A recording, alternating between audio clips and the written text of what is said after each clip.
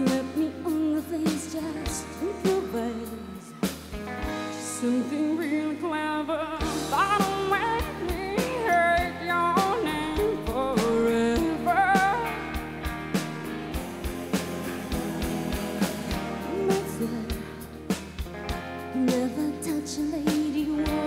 listening. Not too far from maybe every day.